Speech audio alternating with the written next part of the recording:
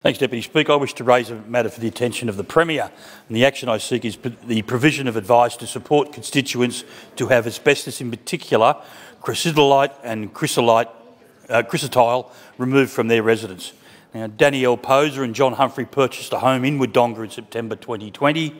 They did all the checks, building inspections, all, all the things to protect them and etc. But about a year, they later rented the property. In May 2022, this year, the tenants had an issue with a flickering light. An electric electrician was called and discovered asbestos insulation. Tests revealed not only that it was asbestos, but a particularly toxic brand, technically known as oh, crocidolite and chrysotile, colloquially known as Mr Fluffy.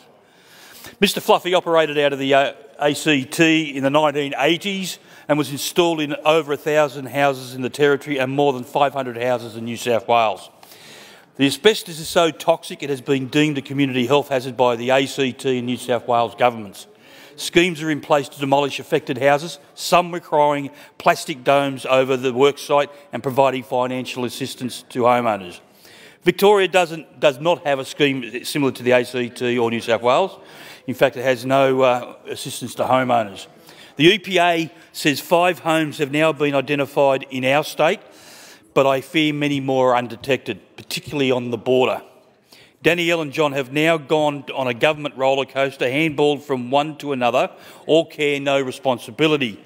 WorkSafe Victoria says the house was not a place of work, so have limited to no assistance available. The EPA said it was a local council issue. The Wodonga Council closed the file as they do not oversee asbestos removal from private dwellings.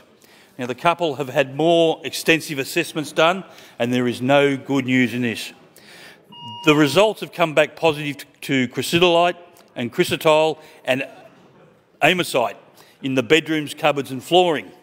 It means there is no option to remove the asbestos in the ceiling, seal up the roof cavity and make the house habitable again.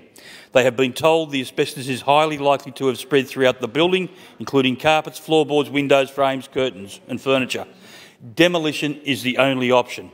Now, this is a huge, immediate and ongoing financial burden and clearly not covered by insurance. As I said earlier, my fear is that this is not only limited, limited to one home in Wodonga, but there may well be some more. The member for Charnage. Thank you, Deputy